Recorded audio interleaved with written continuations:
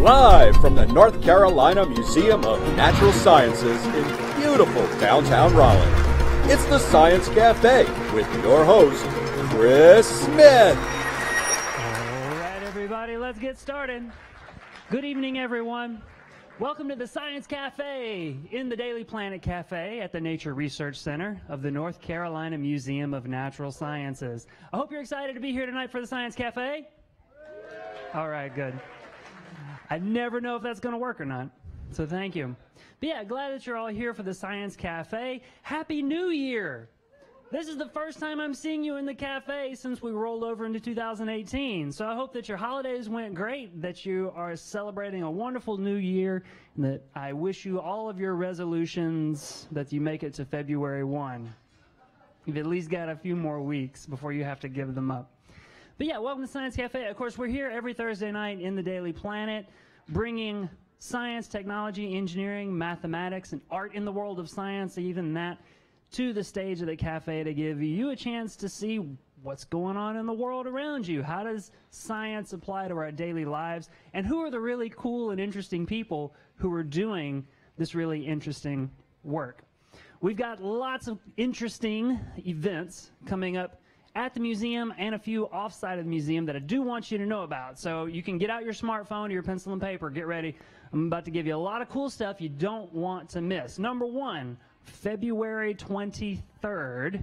If you are a fan of authors John Grisham or John Hart, if you like those novels, you like those authors, February 23rd, we are hosting a special evening with both of them on the stage at the Duke Energy Center just down the road from us. Tickets are available for that one online at Ticketmaster and at the Duke Energy Center box office.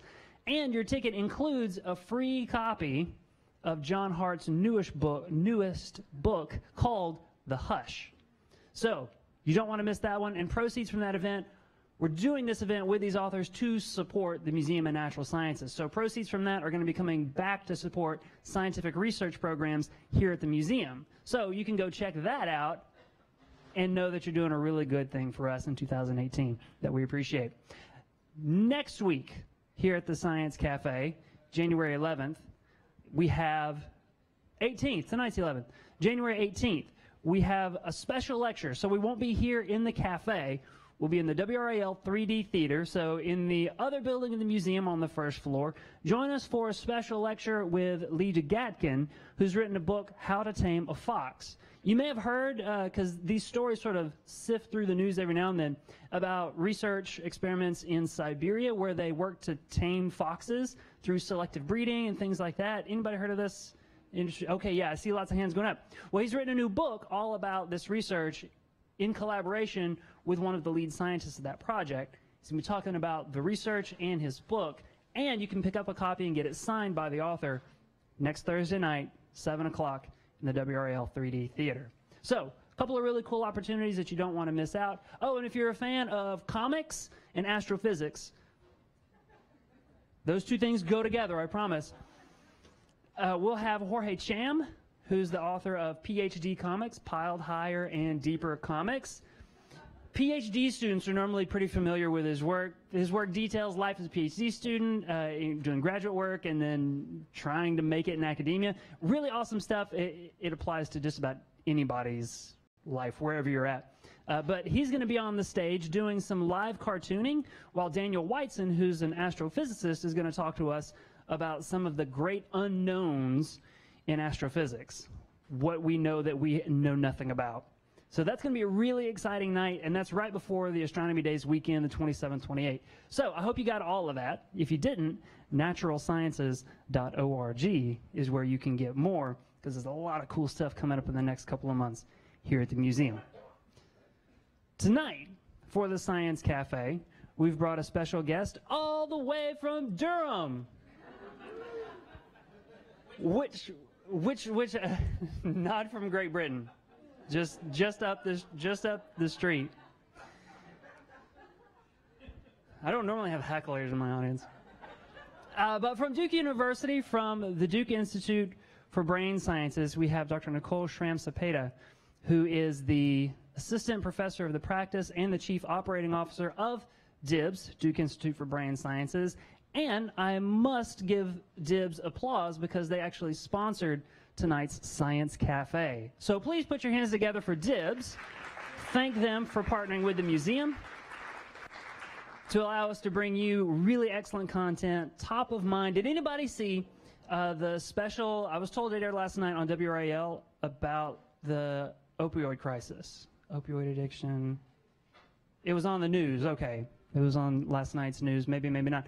But who's seen this stuff in the news? I don't think you can miss it, right? It, it, it's all over the place. It affects a lot of people, and our governments, local governments, state governments, federal governments are trying to figure out what to do about it. And one of the people that at least I think they should be talking to, and that I hear they are talking to, is Dr. Schramm-Sapyta. So, put your hands together. Welcome to the stage. Our guest for tonight, Dr. Nicole. Thank you. Right, good evening. Thanks to all of you for braving that rainy weather, and I hope no one else had to brave I 40 on a rainy January night. Uh, it's worth it. You guys look great already, but um, wow, that was a drive. Uh, and I heard that there were some students from NC State Scholars Program. Is that correct? I want to give you a huge shout out because I was in that program a long time ago. So thank you for coming. This is really exciting. All right. Um, this topic, as you will soon find out, is very near and dear to my heart. And uh, I don't want to stand up here and just lecture and drone on and say what I want to say. I want to answer the questions that you have. So feel free to raise your hand if, if you have a question, a small tangent you want to go off on during the talk. Um, please do interrupt. I really prefer interruptions rather than just droning on myself. Uh, and uh, Chris and Katie will help with the microphones if we need to do that for the recording for the audience. All right, so I entitled my talk From the Brain to Society and Back because what I learned over the years of my work in the drug addiction area, I started very in a very molecular, very basic level, started doing animal modeling. And what always fascinated me about drug addiction is this idea that this molecule, I started studying cocaine when I was in grad school, and I can draw this molecule, and I'm so proud that I can take my organic chemistry knowledge and draw this molecule, and then I can figure out what it does in the brain. And then that made me ask, well, how does it do that to individuals and families and society. So that's what really has always fascinated me about drug addiction, that these very simple molecules can have such a profound effect on humans and our interactions in our society. So that's why I titled the talk the way that I did. Is it going to go? oh, I forgot to turn off.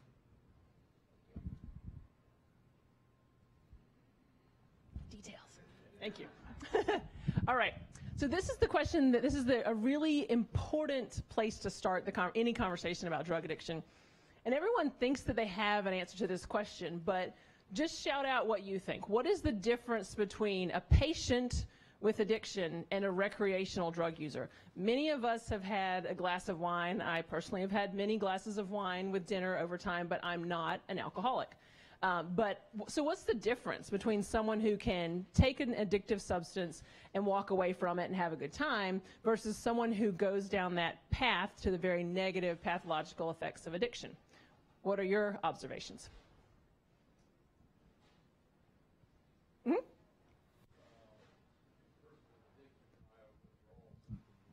They stop. Right, withdrawal symptoms or something that goes along with addiction. What else? Maybe depression? Depression, so very often goes along with addiction. I see some in the back there. They'll make unreasonable sacrifices just to get their next hit. Right. Yeah, the, the extreme behavioral changes that will go along with seeking that drug. Mm-hmm. Uh, one of the people knows like their limit, and the other person does not. Mm-hmm. The limits of taking the drug, right? Yeah, one person can stop and the other one can't. Right. So let's talk a little bit more um, about. So the, the question, the underlying question is obviously taking drugs does not make everyone addicted. What is the difference? So I want to get pretty one thing, addiction is also a word that everybody kind of ha- thinks they know what it means, but I want to talk about what it means in the clinical sense. This is the definition that I like to refer to. Addiction is a primary chronic neurobiological disease.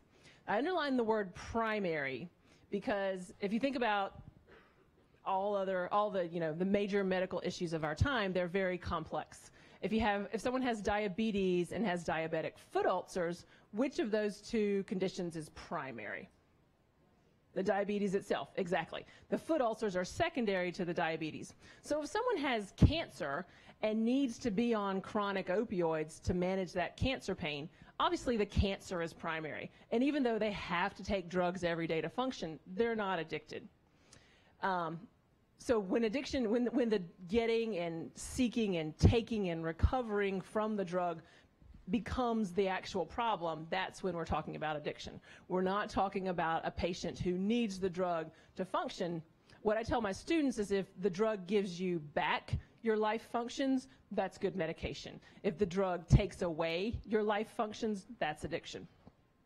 And many of the behaviors that come along with addiction are including, as we talked about earlier, impaired control over drug use, compulsive use, continued use despite harm and craving. So as someone said earlier, um, someone who is using the drug to the detriment of their other normal helpful behaviors, that impaired control, using it despite harm, using it without thinking, that's what I'm talking about when I say addiction, not just needing the drug to function because of other pain, illness, whatever, depression. We'll talk about depression in a little while.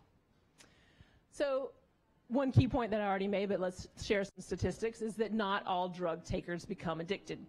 About 11% of people who ever take a drink of alcohol go on to become alcoholics. About 4% of people who ever try marijuana or cocaine go on to become addicted to those substances. About 7% of opiate users go on to become addicted to those. And that includes the prescription and the, the street illegal opiates.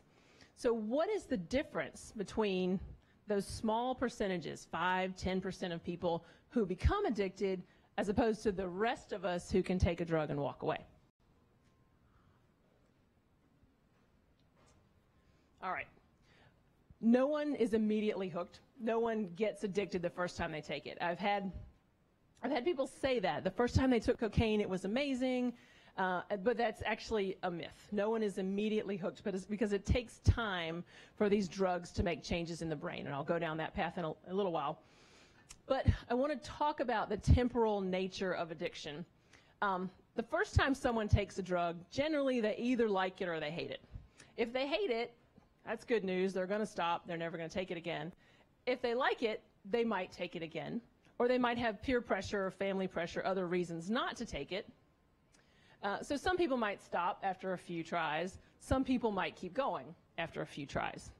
Over time, and these are not uh, necessarily the second, third time someone takes a drug, but over time, some users will develop withdrawal, as someone mentioned earlier. And withdrawal is that bad feeling when you're trying to stop taking the drug.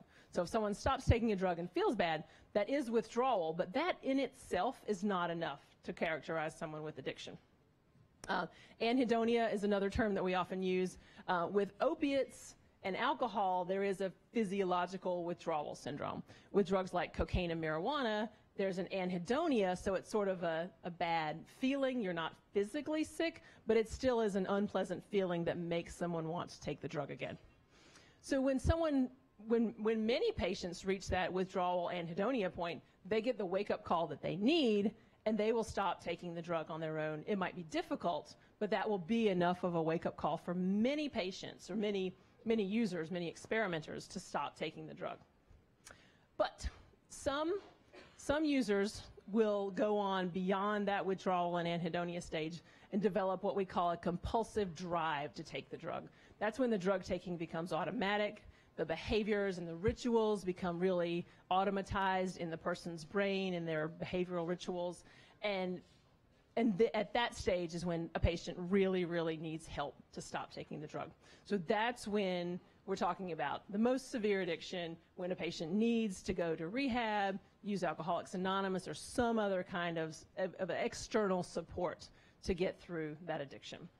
And so there are patients and people along every phase of this, this cycle at any point. Um, people can go in and out of these phases of addiction.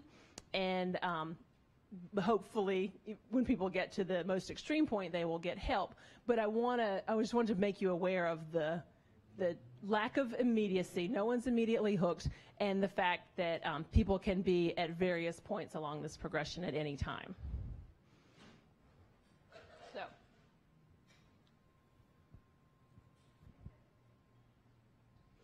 So the next question that I want to ask is if there are these varying stages along the pathway from recreational use to addiction, what is it that pushes someone along that pathway and what protects them or discourages them from progressing along that pathway? So I'm going to talk about it in three categories. There are biological, psychological, and sociological factors that determine progression along this pathway from recreational use to addiction. Another side point that I want to make is that none of these biological, psychological, sociological factors are what I would call destiny. These are all probabilistic functions. So there are things that protect you, things that make you more vulnerable to addiction, and in every individual, in those who become addicted, there was probably some perfect storm of these factors.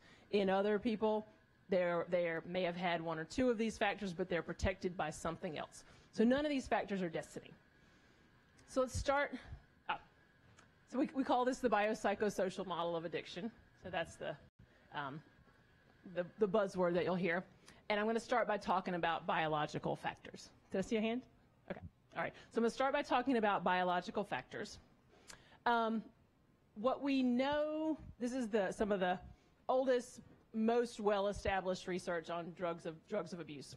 All addictive drugs stimulate the neurotransmitter dopamine in the reward center of the brain. So the reward center of the brain, known as the dorsal striatum, this is the nucleus accumbens, ventral tegmental area for you neuroanatomists in the audience. Uh, this reward center of the brain is designed evolutionarily to help us find rewards such as food and sex and help us procreate. This is a very sort of primal region of the brain that tells us what's good, what's bad, what should I go back to, and what should I avoid. So in this reward center, um, dopamine is the, the neurotransmitter. And this, this graph here that you can see along the x-axis of this graph is the, which one is it? I forget which way it goes. Yeah, okay, so the, along the x-axis of this graph is the change in dopamine in this dorsal striatum region. On the y-axis of this graph is the self-report of high. So what they did was take a bunch of people who were experienced drug users, some were addicted, some were not, but they knew the difference between a good high and a boring high. So they varied the dose of, uh, in this case they used methylphenidate, which is Ritalin, but gave it at a high enough dose so that it could be a high or, or a boring experience. And so they put these uh, individuals, these volunteers into a scanner and and scanned them while they were experiencing the high, and then afterward asked them to say, was that a good high or a boring high?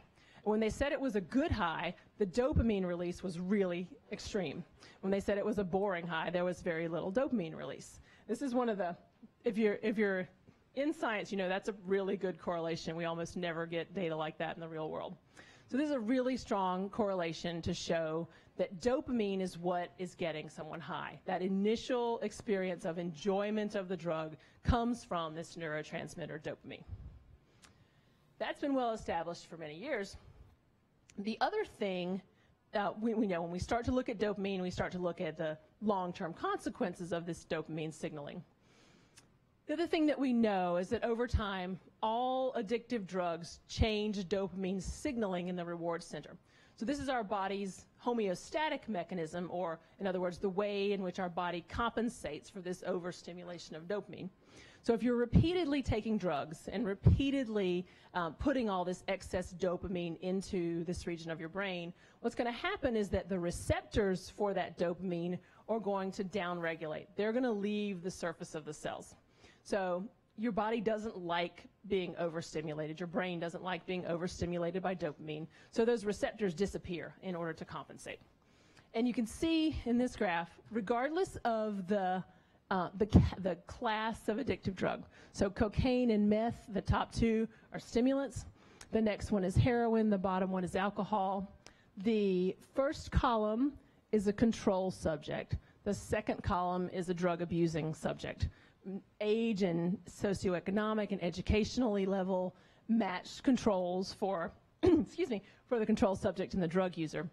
And what you can see is that for all of the drug using, the people on the, the right side of the graph or the, the image, all of the drug using subjects have fewer dopamine receptors than the control subjects. So over time, this repeated experience of having the drug has reduced the number of dopamine receptors. So what do you think that means for the times in natural life when they need to feel enjoyment of food or sex? What happens to that response now that this downregulation has occurred? Yep. Yeah. Just shout it out. Exactly, yes. So I saw a downward thumb. Yes, so this is going to remove pleasure from the natural rewards of daily life. So this sets up a vicious cycle. Yes, so this reduced dopamine receptor level is going to lead to reduced reward from natural reinforcers. Did I put my vicious cycle? Yes, I did put my vicious cycle picture in. so, so someone uh, who has reduced reward sensations from natural rewards is now not going to enjoy real life as much and would then take more addictive drugs to achieve either the same level of high or in many cases the patients begin to need to take addictive drugs just to feel normal again because those those mild enjoyments from everyday life are completely absent. So that well I'll, I'll come back to this idea of a vicious cycle a few more times in the talk. All right. The other thing that we know biologically is that addiction is at least partly genetic. Uh, addiction runs in families. Uh, children of alcoholics, the, the best data on this topic is from alcohol. There because they're huge genetic uh, pedigree studies of alcohol. Children of alcoholics are four times more likely to develop alcoholism than, than children of non-alcoholics. And of course, the, the first thing that we think of is that someone growing up in an alcoholic home may not know any other behaviors, and it may be an environmental effect rather than a genetic effect. But even when we look at twin and adoption studies, even when the um, children do not live with the alcoholic parent, that risk of alcoholism is still doubled. So we have both a genetic and an environmental effect going on. So that's why I say addiction is partly genetic, and that evidence mostly comes from alcoholism, uh, alcohol studies. There are also some for the other drugs of abuse, and it's very much reinforcing the same idea that addiction is partly genetic, but not exclusively. So again, talking about none of, that none of these factors are destiny, there's one push in, in the direction that comes from our genetics. Uh, there are a few biological factors that are unique to opiates. So uh, the opiate epidemic is so much in the news right now. Um, what is it that is so much more, what is it that's making this epidemic so much worse than what we've heard about before? Um, there are a few, there are basically three biological things that make the opiates seem a little bit more addicted, addictive than the other drugs. The first is that there's a strong development of tolerance. Tolerance is the phenomenon by which a person needs more and more of the drug to feel the same high, or if they take the same amount of the drug, they get less and less of a high. So if someone actually wants to get high from heroin, they need to take more and more of the drug. The other phenomenon that's pretty strong with opiates, as we mentioned earlier, is withdrawal. So there's a profound physical sickness that comes along with using opiates regularly and then trying to stop. This is true of patients on cancer pain, low back pain, even a you know, temporary post-surgical opiate use can lead to withdrawal. And many patients need to be gradually weaned off their opiates to avoid this withdrawal. And it, but in, in, the, in the case of addiction, it really complicates that situation when a person might be getting that wake up call and wanting to stop and realizing that they have a problem, but then they get profoundly physically sick and have a much, much harder time stopping than what you would have with marijuana or cocaine that we saw in previous epidemics. Uh, the symptoms of that withdrawal are nausea, diarrhea, pain sensitivity, a general sick or flu-like feeling. So those symptoms are really profound and really do just promote the repeated taking and make it harder for someone to stop. The other factor that's um, really important with the opiate epidemic that's making most of the news now is respiratory depression, which is the cause of death. So um, if, if you see someone, if you hear about people who have died of an opiate overdose, what is happening is that their breathing has slowed to the point of death. So the breathing slows to the point where they stop. This is the mechanism of overdose death, and this is how, this is why these things are so much in the news and because they're so deadly. We, did, we didn't see that with cocaine or marijuana, or we don't see that with alcohol either. All right, so those are the biological factors that I wanted to hit on. I'm going to shift gears now and talk about psychological factors that promote um, the progression from recreational to addicted drug use.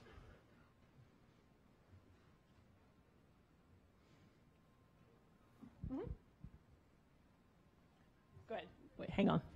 Here comes the microphone. Oh, thank you. I, am just wondering, um, you said the breathing gets slower. As people get more and more addicted, do they is there a slower breathing that they maybe don't notice during that time?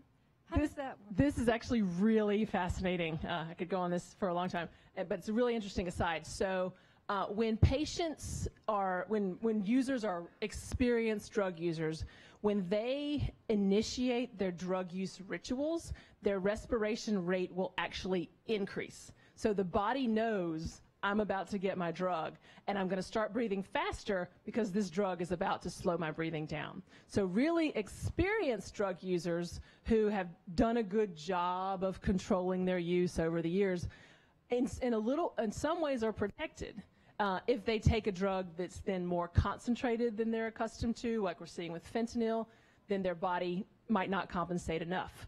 Um, if they're taking the drug outside of their normal setting, so that they don't give their body all the same cues as usual, uh, they will they might they might not compensate as well, and that's also a mechanism of death. Uh, so, and that that's one of the ways that the tolerance, so that that breathing, that increased breathing is one form of tolerance that actually is protective for regular drug users. But it, that protection goes away if they change their ritual and routine and setting. Yeah, that's a great question. All right, so shifting into uh, psychological factors now. Um, one thing that is really well established from many, many studies is that mood and anxiety disorders double the risk of addiction. So that first set of three columns there, the darkest purple is uh, all, all, the, the, the is the um, level of addiction in all uh, respondents combined. So this is um, how many what percentage of society is addicted to, uh, I'm sorry, what percentage of the whole society has a mood or an anxiety disorder? So the darkest purple, about 10% of the whole population of the United States has a mood or anxiety disorder at some point in life. If you look at anybody that has any form of drug addiction, those two lighter purple columns, um, the risk, the, the level of mood and anxiety disorders doubles. So there's a high comorbidity between drug addiction, mood anxiety disorders. If you split it, the other uh, clusters are splitting it up by opiates, amphetamines, cocaine. Uh, so the, the percentage of mood and anxiety disorders is always about half in the general population what it is in the drug abusing population. So, mm-hmm. how do we know that that's cause rather than effect? Ex- that's where I was, exactly where I was going. So um, we we call this the self-medication hypothesis. There have been longitudinal epidemiological studies that look at what came first the depression, anxiety, or the drug addiction. And when you do studies from childhood, those, if you're, if you're knowing what to look for, the mood and anxiety symptoms present before the drug addiction symptoms present. So when those longitudinal studies are done and done very carefully, you can see mood and anxiety symptoms in children before they're starting to take drugs.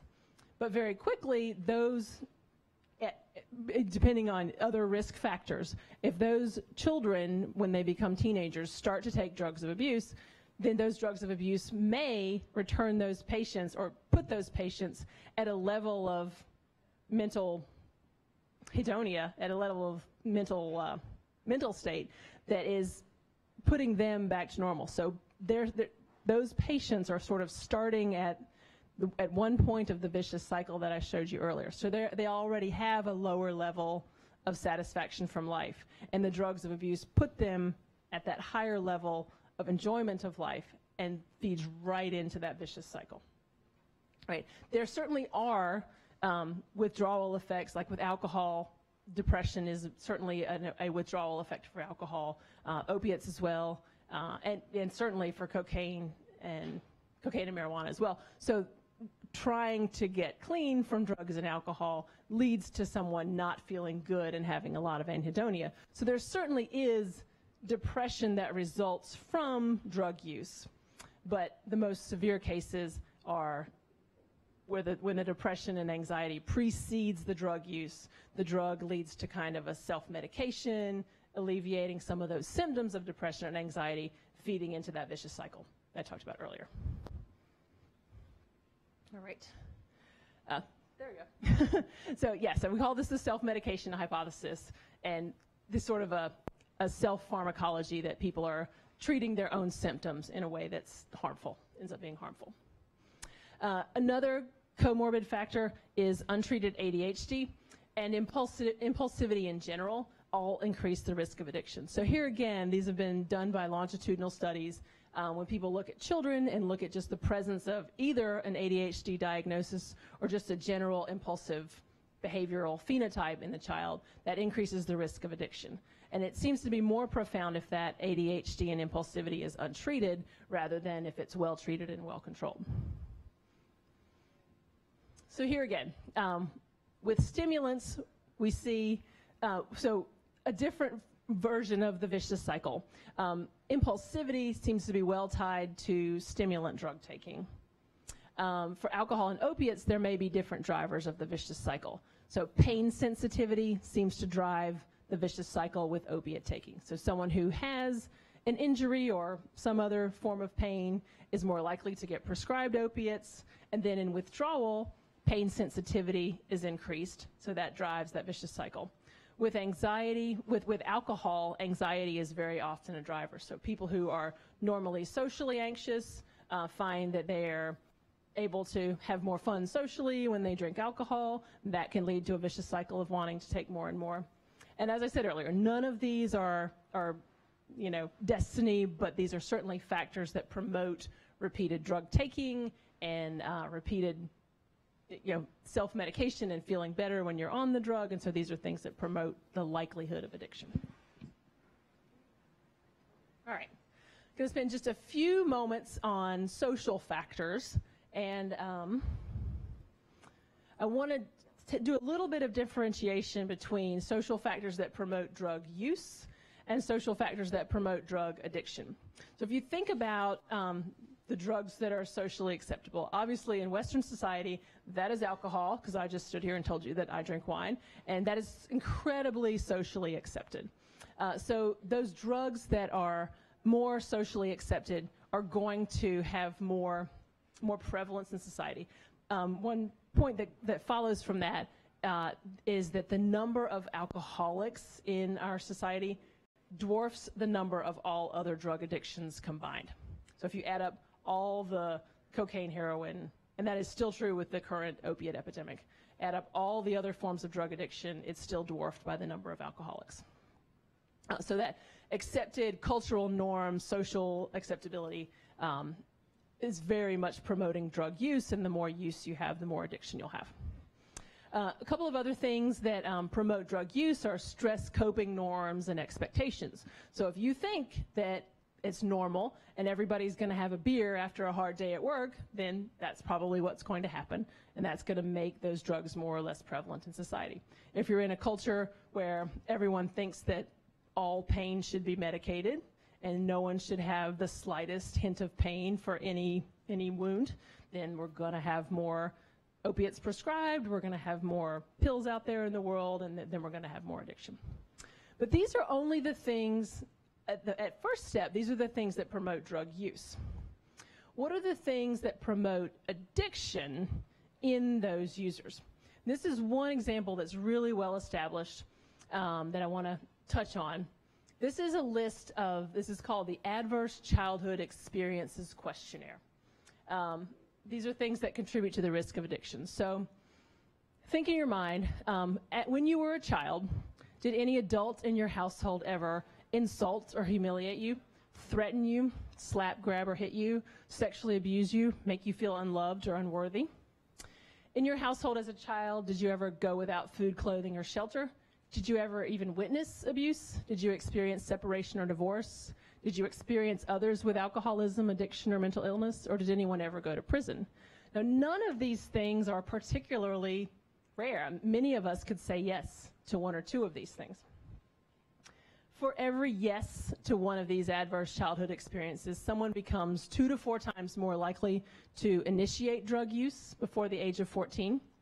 Uh, at any point in life, it makes them more likely to initiate drug use, drug problems, or addiction. And those patients with more than five yeses to these adverse experience questionnaires um, become seven to 10 times more likely to develop drug problems and addiction. So you see that these um, childhood experiences that are completely beyond the control of the child and not terribly rare in our society go on to have a really profound effect on the effect that drugs of abuse can have when that child becomes a teenager or an adult. So, yes.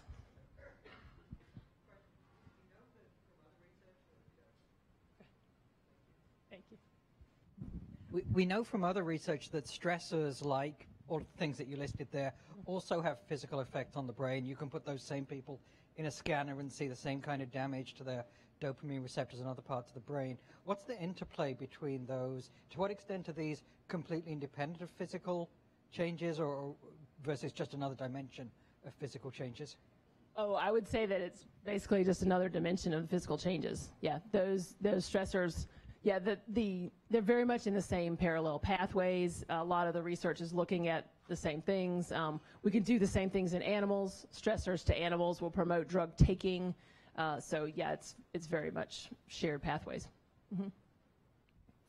So to summarize, I would say that the efforts to escape negative emotions or experiences or to approach rewarding or positive experiences or a drug high all lead to increased drug use. And the more drugs are used, the more likely a person is to experience addiction. So if we have this biopsychosocial problem, we need to have biopsycho and social solutions to address it. So, just briefly, those three, in those three areas, to treat the biological side of addiction, we do have medication assisted treatment. So there is, you've heard of, you've probably heard of methadone. Now we have um, Suboxone, buprenorphine for opiate addiction.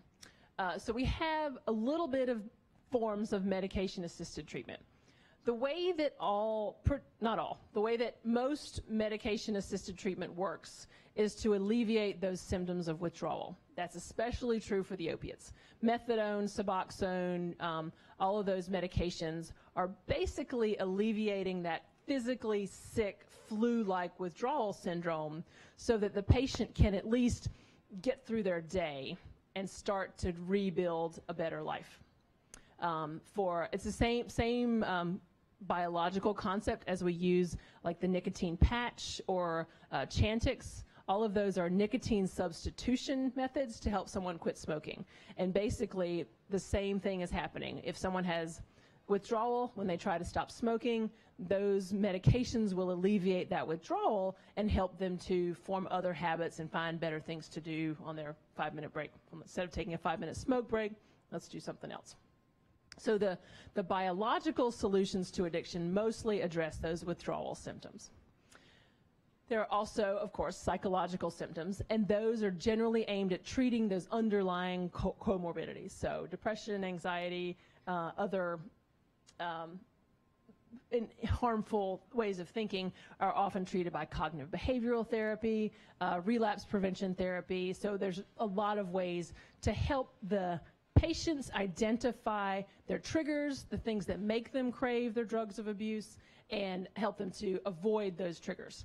So there's a lot of, there are some good psychological approaches that are really well shown to work.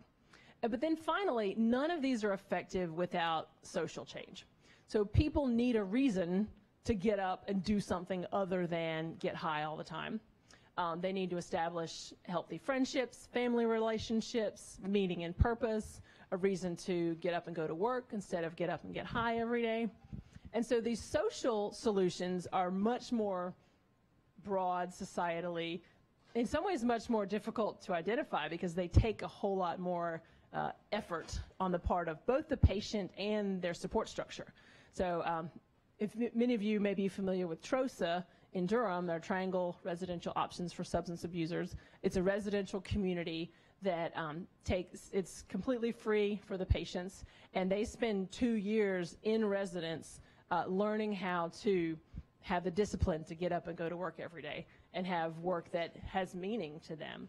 And then have the, the resources to start out on their own at the end of two years so that when they do get a job, they, it's not, you know, it's, it's, it's not uh, immediately, their money's not immediately spent. They've got enough to get an apartment, those sorts of things. So that, that social structure of having friends who aren't using and having a job and having a reason to get up and go to work every day is the more complex thing, the more difficult thing to solve, but it's absolutely necessary to have long-term recovery. So that was the last thing that I was going to say. And uh, so thank you guys for coming, and now we can take as many questions as you like. Give her a round of applause. All right. So yeah, we're going to do widespread Q&A this time. So if you do have questions or think of a question in a couple of minutes, throw up your hand, uh, flag down myself or Katie. We're going to try to get to as many of your questions as we can tonight. And I think Katie's going to start right there, but we'll bring microphones around that way everybody can hear. Uh, I think I have two questions. One is the parallel, um, if people quit smoking, their lung cells heal. I understand. Say that So if people quit smoking, their lungs get better. Yes. In the picture where you showed the normal brains where the dopamine sites, if someone's a chronic user for 30, 40 years and quits, Mm-hmm. do those receptors pop back up and replenish themselves? Yes, they actually do. There was a study done by some folks at Wake Forest, and they used subjects from TROSA. So uh, the patients, the way, the way it turned out was that the patients who were successful in recovery from TROSA had those dopamine receptors return to normal. So they did And- and- early recovery and late. I have a Yes, second question. okay, my second question is there was an excellent presentation on nicotine, and they showed all the primitive pathways that went way back, way back uh, evolutionarily. Mhm. Do these do these pleasure pathways? How far back do they go evolutionarily? Can Oh, they? yeah, these are like our very primitive regions of the brain. Um, this, in, in all mammals, these regions of the brain are present. So, uh, yeah, it's the very necessary for survival. Feeling good, food's over here, go back over here for food the next day, regions of the brain. One, thank you very much. Thank you. I do a lot of work in the opioid overdose prevention programs, and one of the more challenging questions I get is why would one use medicated assisted treatment and simply give someone who is addicted a, an opioid for some amount of time to the rest of their lives. Can you give me a cogent response to that question? Yes, I can. Thank you for asking. Yes, so uh, when someone is, especially when someone is very early in recovery, uh, that withdrawal, it, clearly, if they want to be in recovery, they're clearly motivated. But that withdrawal can really impede the recovery process. So all those drugs, the, the Suboxone, the methadone, those drugs are alleviating that withdrawal. And that's the only thing we have that successfully alleviates that withdrawal. So if you can alleviate that withdrawal, then you free the patient up to build a better life and you know find a job, reconnect with their family, all those other things. Uh, so that's the number one thing. The other thing, I had another thought. I can't think what it was. That's the main thing. It's because it's alleviating withdrawal. Now, so many patients want to wean themselves off those medications over time, and for many patients that works over time. For some, it doesn't. And so we need to start thinking about drug addiction as a chronic illness, as I said at the beginning. And if someone has diabetes, you wouldn't want to wean them off of insulin. And so uh, if, if you have a patient who cannot be weaned off methadone, yet they've got a job and they're taking care of their kids and they're doing really well on their methadone, I think that's a win. Yeah. So, thank you. Uh-huh. You re- sort of hinted around at socioeconomic status. Mhm. How big a contributor to the addiction problem is that? It's yeah, it's fascinating. So there's some great data that I didn't put in this slide deck. Um, it's it varies by substance. So alcohol right now is much more of a high socioeconomic problem, particularly among teenagers. Uh, smoking is much more of a low socioeconomic problem. Uh, the opiate epidemic is that again so much in the news really seems to be a transitional socioeconomic problem. If you look at a lot of the county by county across the whole United States epidemiological data, the place where the opioid epidemic is the worst is in counties that used to have really stable manufacturing or mining jobs. Think about how this started in Appalachia in the Rust Belt. Places that used to have really stable physical labor kinds of jobs, those jobs went away. And you're in a culture that's accustomed to having physical pain and accustomed to having uh, needing that kind of treatment. Now those jobs are gone. The next generation is accustomed to having pain pills around, but doesn't have a reason or doesn't have an opportunity to get up and go to work in the morning anymore. So from the generation of the parents who had good jobs but always had to take pain pills, now the children don't have good jobs but still take pain pills. So that, that transition socioeconomically seems to be where the opioid epidemic started. It's spread beyond that, but that's where it seems to be. That's where the socioeconomic impetus started. Mm-hmm. Mm-hmm. So, one of the concerns that we're seeing a lot in the news lately is how we can appropriately legislate prescription drug uh, distribution. And it's one of the things that I think makes it more difficult to legislate than, say, heroin or other opiates that are not available via prescription. So, obviously, I think it's pretty clear that prison is not an effective drug abuse treatment program. Right. But how do we appropriately legislate drug use so that people can get the treatment that they need? Right. Um, so, so are you talking about? I thought you were going a different direction. Are you you're asking about what to do about people who have an addiction rather than send them to jail? Right. Okay. I thought you were asking about what to do about doctors prescribing too many, but I'll we can we can talk about that later. Uh, yeah. So so I maybe I'm Pollyanna hippie liberal. Um, I think that the best way to reduce the um, opioid epidemic is to increase treatment resources. And, you know, if, if someone commits a crime and is otherwise a danger to society, they probably need to go to jail. But we could, even in jail, we could do a whole lot better job of having prison treatment systems. Um, but for someone who is not otherwise dangerous, whose only crime is selling and seeking and taking drugs and being high in public, those kind of, of citizens need help and need drug treatment and, and those those resources are very, very underfunded and under prevalence in our society. Um, the I, I forget the statistic exactly, but probably about 10% of people who meet the diagnostic criteria for addiction have access to to resources, to treatment resources. So we can do, a, the first step would be to just make treatment resources more readily available, to train family care physicians to recognize it and refer or do.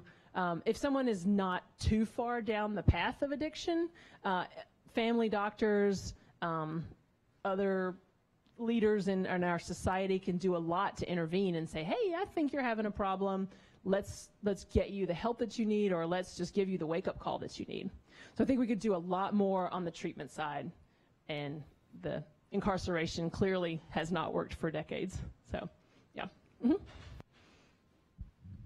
I guess it's uh, fair to say that uh, alcohol and marijuana are more socially acceptable in this country, Absolutely. and I guess more available. I don't Absolutely. know. Uh, alcohol certainly. Uh, one of the arguments that I, I've always heard about uh, against legalizing marijuana is because it's a gateway to something more serious. Mhm. Uh, is there evidence that that's the case? Yeah, so the gateway hypothesis had, uh, it, it gained traction for a while, and the thinking right now is it's pretty well disproven. Um, if there is a gateway, it's very sociological. So uh, being in contact, you know, if, if marijuana is illegal to buy, yet it's sociologically acceptable, um, you know, then someone has to go into an illegal situation to buy marijuana, and lo and behold, cocaine and heroin are there too. Um, but the evidence does not suggest that just because someone tries marijuana that they're that much more likely to go on and try the others. Uh, the other factors that I showed today, like depression, anxiety, uh, childhood trauma, all of those things are way more predictive of who is going to use those harder drugs than just the taking of marijuana. So when we when we account for all those other factors, that's much more of a driver than the exposure to marijuana. Uh, the other, we're in a grand societal experiment right now with like Colorado and Washington, the states that have all those other states that have recently legalized marijuana. The preliminary data, and this is really preliminary, so I'm not putting too much stock in it, but the pre- preliminary data says that there's not that much of an increase in addiction. Um, I think there probably will be over time just because alcohol is so much more prevalent, therefore alcoholism is so much more prevalent. I think if marijuana becomes more that much more prevalent, I think the addiction will become that much more prevalent. And there again, we need to have we can say we can spend our money, the revenue that comes in from marijuana sales on treatment and probably still end up ahead in revenue. So that's the, those are, but, again, we're in a really grand experiment in society right now. So I don't know how it's going to turn out. We'll see. uh, Hi, uh, thank you so much for your talk. It's um, very informative.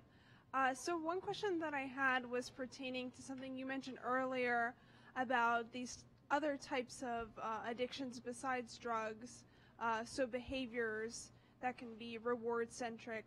Mhm. So, I was wondering have you studied the brain at all um, at, for these other types of behavioral rewards? And does our brain respond similarly as when we're rewarded by drugs as we are with other addictive behaviors? Absolutely, yes. So there's a growing body of literature looking at uh, gambling is the big one. Uh, that gambling lights up the same dopamine reward symptom, syndrome, centers as drugs of abuse. Uh, compulsive shopping, nymphomania. Um, what are the? Those are the big ones. Uh, those compulsive overeating, not just not just like uh, endocrinological obesity, but compulsive overeating is also driven by the same reward centers in the brain. So yeah, there's a growing body of literature that's showing that it, at least that first step of getting a high from dopamine, like we see with drugs, the same reaction comes along with those behaviors.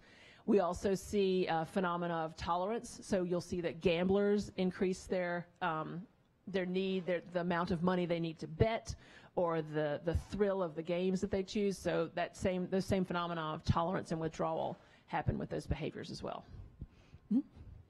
Uh, you mentioned uh, America's grand experiment. Um, Holland's actually had that same experiment going for what, 30 years more? Mhm. I mean, how's it gone over there? There must be some data by now on that. The um, the best data that I know of is from Portugal.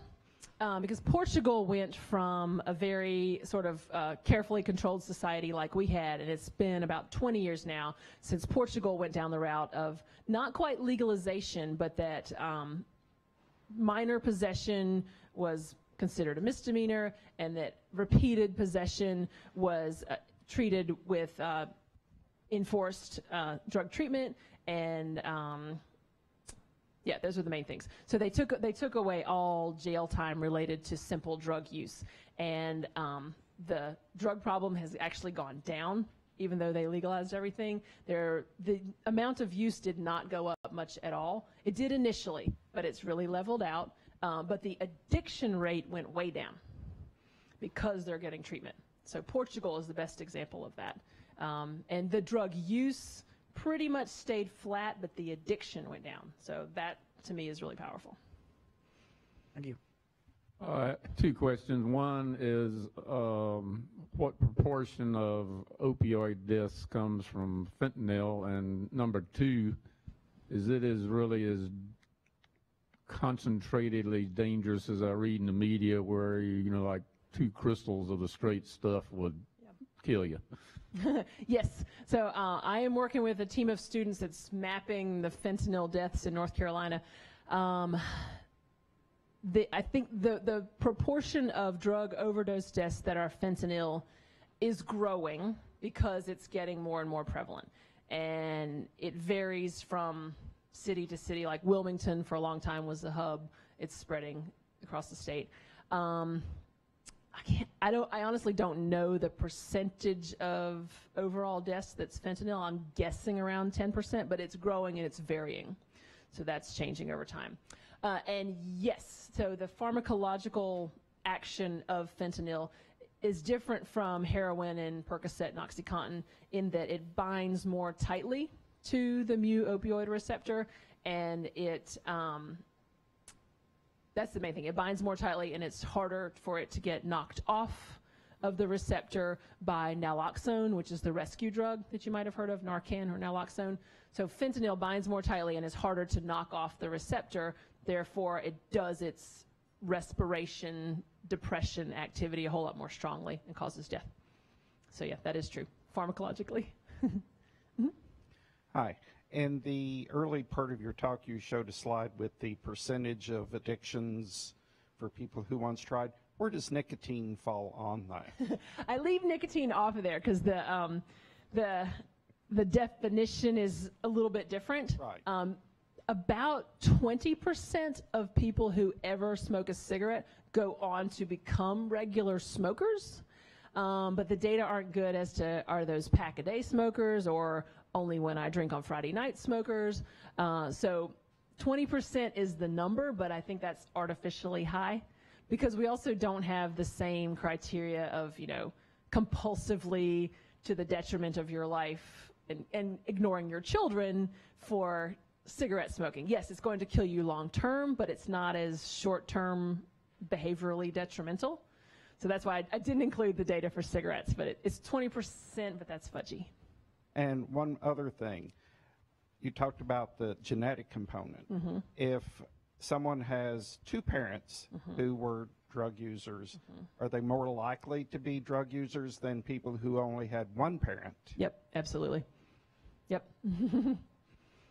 yeah, and there have also been studies done um, where there's a great study, I think it's out of Australia, where there's like a a drug using father who was then divorced out of the home, and then the child was raised either by a drug using mother and a stepfather or non drug using. But bottom line is, yeah, more genetic load leads to more uh, risk, and every little bit of that you take out alleviates that risk. So, yeah.